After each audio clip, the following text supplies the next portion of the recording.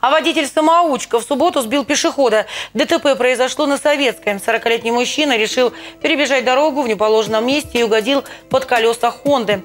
С места аварии пострадавший попал в реанимацию.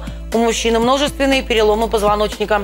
Как выяснилось, у молодого человека, который был за рулем Хонды, водительских прав нет и никогда не было. В отношении него возбуждено дело об административном правонарушении. Протокол составили и на хозяина авто, который разрешил сесть за руль водителю самоучки. Установлено, что водитель, управлявший автомобилем Honda Accord, водительского удостоверения не имеет и ранее не обучался. В отношении водителя транспортного средства составлен административный материал за управление транспортного средства, не имеющим права управления, а также на владельца за передачу э, управления транспортного средства лицу, не имеющему права управления. Госавтоинспекция города Ноябрьска убедительно просит всех участников дорожного движения соблюдать ПДД, водителей транспортных средств быть внимательными при проезде регулируемых и нерегулируемых пешеходных переходов, соблюдать скоростной режим, а также обращаясь к пешеходам, просьба переходить проезжую часть в установленных местах, заранее убедившись, что водитель заметил вас и